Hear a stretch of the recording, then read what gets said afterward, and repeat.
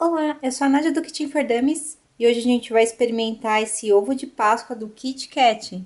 Ele é chocolate ao leite com wafer recheado. E antes de começar o review, eu vou pedir para se você gostou do vídeo, não esquece de deixar um curtir. É muito importante para o canal crescer e eu continuar fazendo vídeos como esse. Se inscreve no canal e segue a gente no Instagram, já são mais de 100 mil por lá. O link está na descrição do vídeo.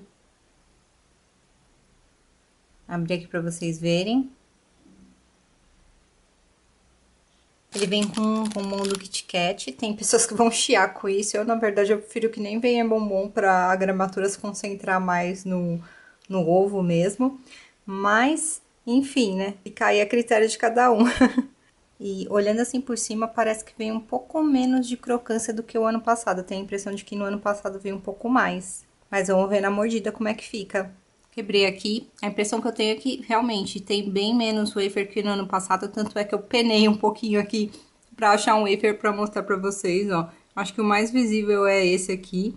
Aí, de resto, aqui dá pra ver um outro wafer, mas parece pedacinhos menores e parece que veio menos também em relação ao ano passado. Experimentei aqui. Gente, gostei muito desse ovo do Kit Kat. Ele acaba sempre sendo um dos meus favoritos da Páscoa. O único, porém, realmente que ficou faltando um pouco de wafer aqui. Acho que no ano passado realmente teve mais. Eu amo chocolate com wafer, então eu senti um pouco de falta.